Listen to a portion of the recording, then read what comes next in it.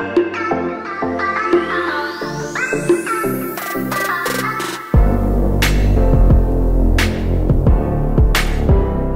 you aware of the side effects of the makeup and the cosmetic that you use?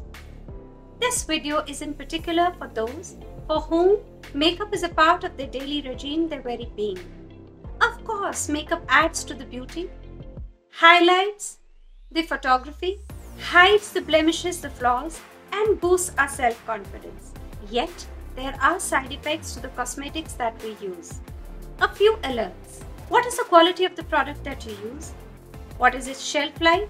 Its expiry date? When did you last clean your brushes? Are you using a single brand? Is it multi brand? Are you the only one using the cosmetic or are you sharing with others? So, of course, the answer is that you should not use your product beyond the expiry date. You should regularly clean your brushes.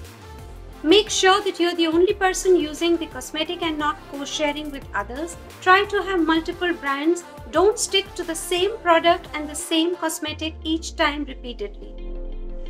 There are a barrage of diseases I can count because of the side effects of the cosmetics and the makeups that we use. Be the allergy, dermatitis, hyperpigmentation, redness, itching, even premature aging, fine wrinkles, age spots, darkening of the skin, darkening of the lips, dryness of the eyes, conjunctivitis, staphylococcal infection, bacterial infections, fungal infections, to name a few. And of course, there is acne with its white comedones, black comedones, and even acne cosmetica. So, what do you do to prevent this? Do you know that the very brushes that we use, if we use them roughly, they cause friction and that causes hyperpigmentation, darkening of the skin, and when the sun rays fall on it, it further exacerbates it. If we are using lipstick, it can cause dryness of the lips, even darkening. If we are using a mascara, it can cause a break in the tear film and dryness of the eyes. If you're using a kajal or a kohl pencil, make sure that it's clean and it is not causing redness of the eye or a staphylococcal infection. Your brushes ought to be clean, so should your pads and mops be because it can have a lot of germs, fungal and bacterial infection and cause a flare on your face. Especially the youngsters should be very careful when they use cosmetics because the hormones, the diet and the germs all have an interplay and it can flare the acne. Make sure that even the bindi that you use, its glue is not old and it does not cause hyperpigmentation or an allergic contact dermatitis. Your base should not be very thick. If you have an oily skin, you should use gel based or water based products. If you have a dry skin, you should use oil based products. If you don't do that, it can cause acne in an oily skin and it can cause dryness in a dry skin. Of course, there is a huge risk of an allergic reaction. These days, the products are animal tested and not human tested. So, what do you do?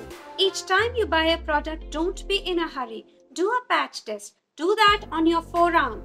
Make a circle around the product that you have put on and wait for 24 hours to observe whether it is causing any redness, itching, blisters. Even a hair color has to undergo a patch test.